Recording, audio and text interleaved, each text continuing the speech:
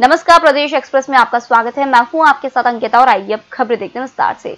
Madhya Pradesh Congress committee के अध्यक्ष और मुख्यमंत्री कमलनाथ ने कांग्रेस जनों को निर्देश दिए हैं कि वह अपने सुझाव पीसीसी को सौंपा करे ताकि अनावश्यक बयानबाजी से पैदा होने वाले विवादों से बचा जा सके। हाल ही में विभिन्न स्तरों पर बयानबाजी के मामले सामने आए हैं, जिसे लेकर प्रदेश कांग्रेस अध्यक्ष ने नाराज़गी जताई है। मध्य प्रदेश के मुख्यमंत्री कमलनाथ ने धोखेबाजों के खिलाफ सख्त रवैया अपनाते हुए कहा है कि गंभीर अनियमितता कर रही सहकारी गृह निर्माण समितियों को सरकार टेक ओवर कर के पात्र लोगों को प्लॉट दिलाएगी। जन अधिकार की वीडियो कॉन्फ्रेंसिंग में मुख्यमंत्री ने साफ़ कर दिया है कि गाड़ी कमाई और पूंजी लगाकर लोग गृह निर्माण समितियों से प्लॉट खरीदते हैं और उनके साथ माफिया किस्म के लोग धोखा कर रहे हैं। मुख्यमंत्री ने यह भी कहा कि माफिया के खिलाफ कार्रवाई में निशाने पर माफिया ही होना चाहिए, इसकी आड़ में दुश्मनी नहीं निकाली जाए। उन्होंने शुद्ध के लिए युद्ध अभियान में मिलावट दवाओं के खिलाफ अभियान चलाने को कहा। मुख्यमंत्री कमलनाथ ने 25 दिसंबर को सार्वजनिक रूप से यह कहा था कि किसी भी स्थिति में प्रदेश में नागरिकता संशोधन कानून को लागू नहीं किया जाएगा। मुख्यमंत्री के इस बयान को गैर जिम्मेदार और राष्ट्रीय एकता के खिलाफ बताते हुए हाईकोर्ट में एक याचिका दायर की गई है।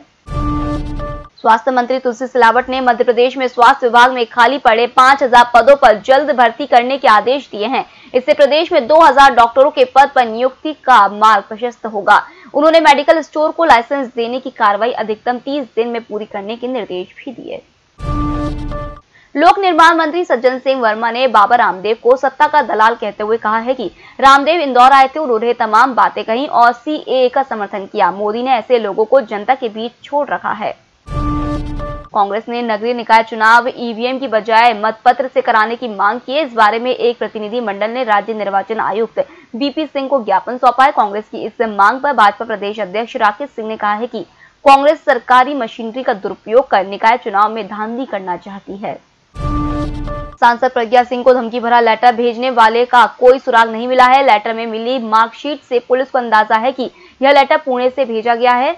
इसलिए पुलिस ने पुणे शिक्षा विभाग को पत्र लिखकर मार्कशीट की जानकारी मांगी है।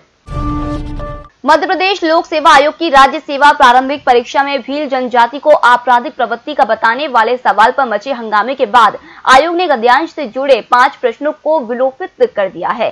अब बचे हुए प्रश्न के आधार पर मेरिट लिस्ट तैयार की जाएगी।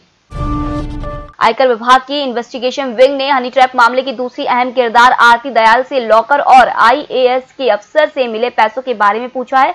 दयाल को आईएएस अफसरों से 33 लाख रुपए मिले थे। आरती से हरभजन सिंह और एक आईएएस से एक करोड़ रुपए नगद दिए जाने के मामले में भी पूछताछ की गई। आयकर विभाग की investigation wing honey trap gang की तीसरी अहम कड़ी श्वेता को पूछताछ के लिए आज बुला सकती है। फ़िलहाल इस बुलेटिन में इतना ही। आप बने रहिए ये के साथ। नमस्कार।